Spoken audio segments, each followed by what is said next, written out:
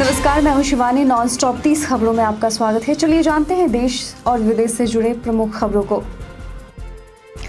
नवोदय विद्यालयों की छठवीं कक्षा में दाखिले के लिए J N V S T दो हज़ार पच्चीस के लिए आवेदन प्रक्रिया चल रही है। आवेदन की अंतिम तिथि 7 अक्टूबर 2024 है। अभिभावकों को सलाह दी गई है कि वे जल्दी आवेदन करें। परीक्षा 18 जनवरी और 12 अप्रैल 2025 को आयोजित की जाएगी और करेक्शन विंडो भी खोली जाएगी। राष्ट्रीय जाँच एजेंसी ने जम्मू कश्मीर, महाराष्ट्र, यूपी, असम और दिल्ली में आतंकवादी संगठन जैश ए मोहम्मद से जुड़े 22 स्थानों पर छापेमारी की। महाराष्ट्र के मालेगांव में एक डॉक्टर के क्लिनिक पर भी कार्रवाई चल रही है। पहले पश्चिम बंगाल के विभिन्न जिलों में संदिग्ध भाकपा कार्यकर्ताओं के खिलाफ भी छापेमारी की गई थी। दिल्ली की कुतुब मीनार को 4 से 6 अक्टूबर तक तो गुलाबी रंग में रोशन किया गया है, जिससे स्तन कैंसर के प्रति जागरूकता बढ़ाई जा सके। यह पहल फोर्टिस मेमोरियल रिसर्च इंस्टीट्यूट द्वारा आयोजित की गई है, जिसका उद्देश्य महिलाओं को नियमित मेमोग्राफी कराने और कैंसर की प्रारंभिक पहचान के महत्व पर ज़ोर देना है। प्रधानमंत्री नरेंद्र मोदी ने आज महाराष्ट्र में कई परियोजनाओं का उद्घाटन किया, जिसमें बीस हज़ार करोड़ रुपए की पीएम किसान सम्मान निधि की अठारहवीं किस्त का वितरण शामिल है। उन्होंने बंजारा विरासत संग्रहालय का उद्घाटन किया और कृषि तथा पशुपालन से संबंधित तेईस हज़ार तीन सौ करोड़ रुपए की पहलों की शुरुआत की। इसके अलावा मेट्रो और सड़क परियोजनाओं का भी शिलान्यास किया। बिग बॉस 18 का प्रीमियर 6 अक्टूबर को होने वाला है और फैंस में शो को लेकर उत्साह बढ़ता जा रहा है। हाल ही में शो के घर का पहला वीडियो साझा किया गया, जिसमें घर को किले जैसा दिखाया गया है। यूज़र्स ने घर के दृश्य की प्रशंसा की और सभी इस सीज़न का इंतज़ार कर रहे हैं। भारत ने जाकिर नाइक के सोशल मीडिया अकाउंट को बैन कर दिया है। नाइक जो पाकिस्तान में है, पर मनी लॉन्ड्रिंग और चरमपंथ को बढ़ावा देने के आरोप में है। भारत के विदेश मंत्रालय ने पाकिस्तान की निंदा की है, जहाँ उसे सम्मानित किया गया है। नाइक पर कई गंभीर आरोप हैं, जिसके चलते भारत ने उसके आईआरएफ और पीस टीवी पर प्रतिबंध लगाया था। भारत ने श्रीलंका को उसके आर्थिक पुनर्निर्माण में निरंतर समर्थन देने का आश्वासन दिया। जबकि श्रीलंका ने अपनी भूमि का उपयोग भारत के सुरक्षा हितों के खिलाफ गतिविधियों के लिए नहीं होने देने का वादा किया। विदेश मंत्री एस जयशंकर ने द्विपक्षीय ऋण पुनर्गठन और विकास परियोजनाओं पर सहयोग बढ़ाने की पुष्टि की, विशेषकर मछली पालन और ऊर्जा के क्षेत्र में। ईरान के मिसाइल हमलों के बाद पश्चिमी एशिया में संघर्ष की स्थिति में बढ़ोतरी हुई है, जिससे भारत समेत वैश्विक व्यापारियों के लिए रेड सी शिपिंग रूट प्रभावित हो सकता है। अगस्त में भारत के पेट्रोलियम एक्सपोर्ट में अड़तीस प्रतिशत की गिरावट आई थी। भारतीय निर्यातक सरकार से एक राष्ट्रीय शिपिंग लाइन विकसित करने की मांग कर रहे हैं। इंडिगो एयरलाइंस का सिस्टम तकनीकी कारणों से धीमा हो गया है, जिससे पूरे नेटवर्क में उड़ान सेवाएँ प्रभावित हुई हैं। यात्रियों को चेक इन और सामान की जाँच के लिए लंबी कतारों का सामना करना पड़ा। एयरलाइंस ने स्थिति को सामान्य करने का आश्वासन दिया और यात्रियों को हो रही असुविधा के लिए खेद व्यक्त किया। भारत और बांग्लादेश का पहला टी मैच 6 अक्टूबर को ग्वालियर में होगा। रिंकू सिंह ने इस मैच से पहले अपने टैटू के बारे में बताया है, जिसे उन्होंने गॉड्स प्लान नाम से बनवाया है। यह टैटू उनके आईपीएल अनुभव से जुड़ा है, जब उन्होंने एक मैच में पाँच छक्के मारे थे, जिसने उनकी ज़िंदगी बदल दी।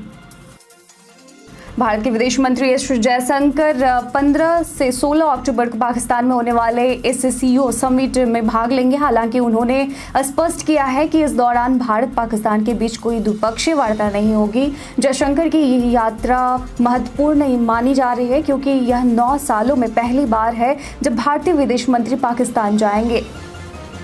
आनंद महिंद्रा ने हाल ही में सोशल मीडिया पर एक वायरल वीडियो शेयर किया, जिसमें रेयान नाम का एक पीएचडी होल्डर चेन्नई की सड़कों पर चिकन 65 बेचता नज़र आ रहा है। दिन में अपनी पढ़ाई करने के बाद वह शाम को फ़ूड स्टॉल चलाता है। महिंद्रा ने उसकी मेहनत की सराहना की, खासकर जब रेयान ने ब्लॉगर को अपने फ़ोन में शोध पत्र का दिखाया और यूज़र्स ने शिक्षा के महत्व और सामाजिक स्थिति पर सवाल किए। दिल्ली हाईकोर्ट ने सर गंगाराम अस्पताल को आदेश दिया है कि वह कैंसर से मरे हुए शख्स के जमे हुए स्पर्म को उसके माता पिता को सौंपे। कोर्ट ने कहा कि भारतीय कानून में मरने के बाद बच्चे पैदा करने पर कोई प्रतिबंध नहीं है। यह मामला 2020 से लंबित था, जब मृतक के माता पिता ने स्पर्म रिलीज़ करने की याचिका दायर की थी। भारतीय रेलवे एसी कोच में सफ़र के दौरान मिलने वाली गंदे चादर और तकिए की शिकायतों को दूर करने के लिए लीनर और बेडरोल की क्वालिटी सुधारने जा रहा है। टेक्सटाइल मंत्रालय ने इस संबंध में एक बैठक की, जिसमें सफ़ेद बेडरोल की धुलाई में सुधार और उनकी उम्र बढ़ाने पर ज़ोर दिया गया है। सफ़ेद रंग धोने में आसान होने के कारण चुना गया था।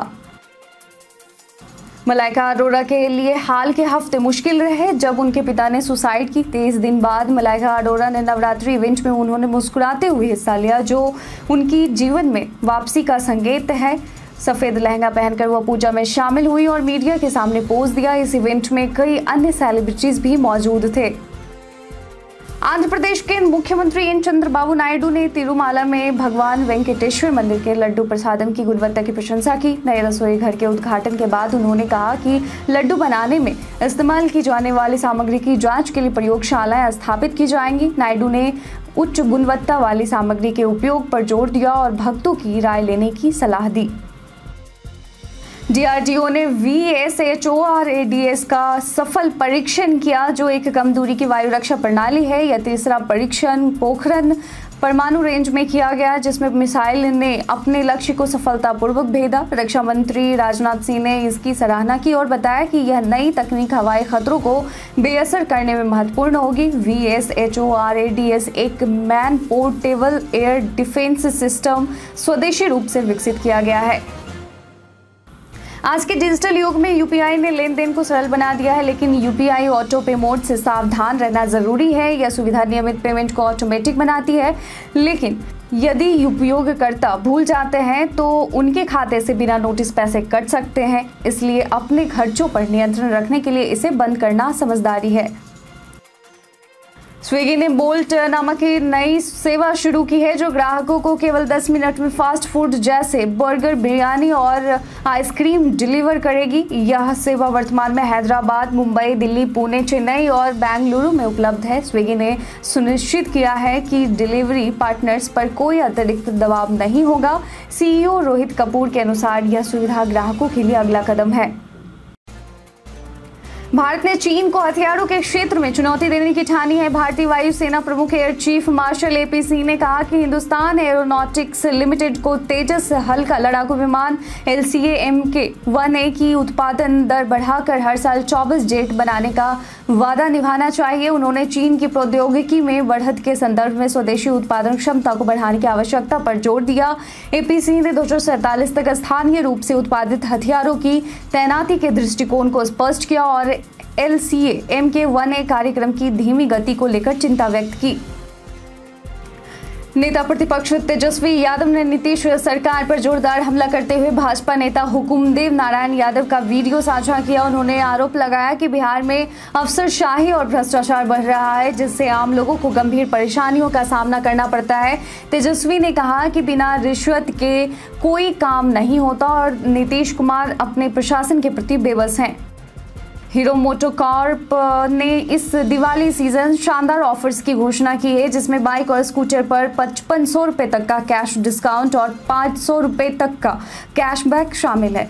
ये ऑफर्स नवरात्रि के दौरान 12 अक्टूबर तक उपलब्ध रहेंगे। 100 सीसी से लेकर प्रीमियम बाइक्स और स्कूटर पर भी बचत की जा सकती है।